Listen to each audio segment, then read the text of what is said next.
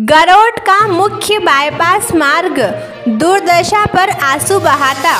शीतला माता मंदिर, रोड निर्माण शीघ्र करवाएँ। कांग्रेस प्रांतीय उपाध्यक्ष प्रजापति। नमस्कार दर्शकों, मैं टीना नामदेव, आप देख रहे हैं संस्कार दर्शन न्यूज़। गरोट नगर परिषद की उदासीनता के चलते तहसील कार्यालय से निकला वार्ड नंबर 12 का मार्ग अत्यंत जर्जर हो चुका है। गरोट के प्रमुख मंदिर शीतला माता मंदिर, देवनारायण मंदिर के पास रोड की स्थिति दयनीय है, जिससे वाहन चालकों, राहगीरों को परेशानियों का सामना करना पड़ रहा है। जनप्रतिनिधियों की लापरवाही से वार्डवासी को कीचड़ में से निकलने को मजबूर होना पड़ रहा है। इस जनता का क्या कसूर है जिनको गंदगी में रहना पड़ रहा है?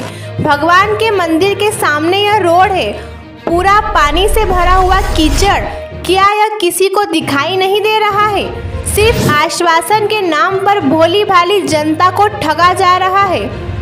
इस संबंध में नेशनल कांग्रेस वर्गीय कमेटी प्रांतीय उपाध्यक्ष राधेश्याम प्रजापति गुरुदेव ने गरोट नगर परिषद अध्यक्ष राजेश सेठिया से नगर के इस प्रमुख मार्ग का निर्माण कार्य अति शीघ्र किए जाने की मांग की है ताकि मंदिर में दर्शन करने आने वाले भक्तों और राहगीरों को सुलभ मार्ग उपलब्ध हो सके।